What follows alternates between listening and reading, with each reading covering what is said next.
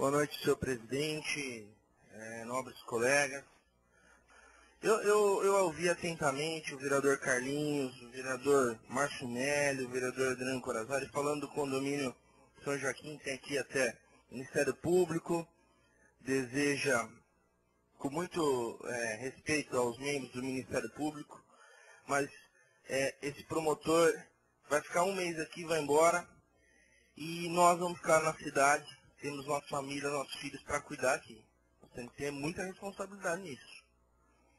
Eu não tenho, é, vocês sabem a minha atuação aqui nessa casa, nós não temos medo de nada, de nada, mas nós temos que ter a verdade na nossa cidade. E se nós, se isso pegar, nós vamos abrir todos os condomínios, Vinhedo, onde vai parar a cidade de Vinhedo?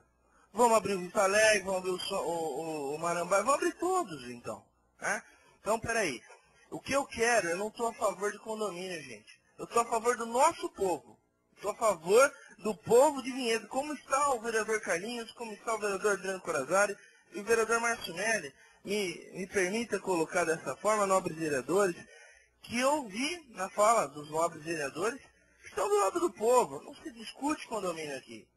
Nós, discutir, nós vamos discutir investimentos que vão lá no São Joaquim, que investiram 5 milhões, 19 quilômetros em asfaltamento, em recapeamento, em buraco, que foi consertado, que sobra nos nossos, nos nossos cofres públicos, vereador Rubens Nunes, para fazer escola, como o nobre vereador Carlinhos disse, para fazer investimentos na saúde, na educação. Nós não podemos aceitar esse tipo de situação na nossa cidade.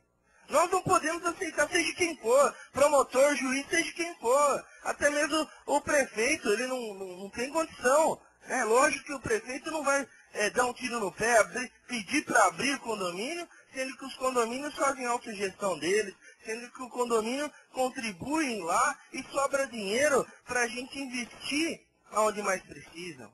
Né? Que nós estamos falando tanto de parceria e agora vai na contramão uma situação dessa. Na contramão. Nós somos procurados, domingo estarei lá. Eu até convoco os vereadores, a população, para a gente fazer um manifesto mesmo. Sabe, nós temos que ter. As pessoas do poder têm que ter sensibilidade. Tem que ter sensibilidade, sensibilidade, gente. Porque é simples dar uma caneta e falar derruba, faça e, e acabe. E onde vai ficar? Como vai ficar? E os investimentos daquele lugar? 103 guardas que fazem a segurança lá. 103.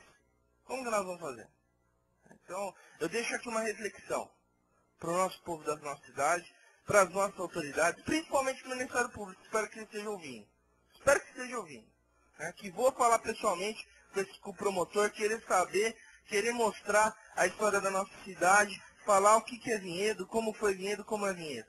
Enfim, eu queria pontuar essa situação aqui.